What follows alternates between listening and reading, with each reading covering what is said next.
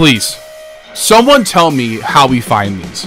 How to upgrade your ammo mods in Black Ops 6 Zombies. Find some fish, throw a Semtex, C4, whatever you want, make sure it explodes, you'll know you did it right because goodies will pop up. Then go up to the fish and hit interact. Next we'll need some fresh ingredients, so I'm going to show you where each one is. The first one is the chili powder here, which will upgrade your napalm.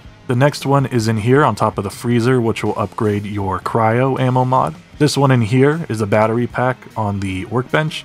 This will upgrade your electric damage mod. This one over here is a brain down in the terminus area. If you pick that up, it'll give you the brain rot mod. And then down here is the void mushroom. This will upgrade your void ammo mod. You'll need this oil that's right here next to the pans. Okay, so most of the part of this Easter egg, I could see maybe we accidentally stumble upon it, right? But there's no way that we took a grenade, right? And we threw it at those fish, and we were like, "Yeah, that's it. That's that's the step." There's nobody. Somebody accidentally did did that, especially since this doesn't even appear in your inventory. You just have to assume it's there. Okay. Now I'm here for it. Don't get me wrong. I'm here for this. I am not upset, really. I mean, I am upset, but I'm upset for a different reason. I'm okay with this Easter egg, but my my annoyance really lies deep within the core of how the fuck do people find this?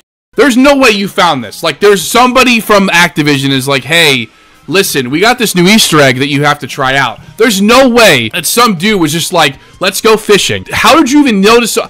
Played that map four times, and I've been in that downstairs. Just, just swimming around for fun. In a boat, swimming, whatever. Haven't seen one fish. I'm just saying. Maybe I'm blind. Maybe it's, maybe I'm the problem.